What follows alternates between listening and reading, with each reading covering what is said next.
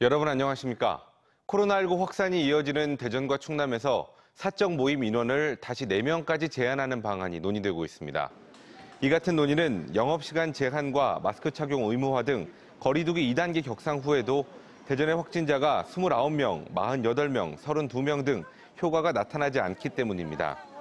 최근 일주일간 하루 평균 28.1명꼴로 3단계 기준인 30명에 육박하면서 대전시는 현재 8명인 사적 모임 기준을 4명으로 낮추는 방안을 자치구와 협의한 뒤 곧 결정할 방침입니다.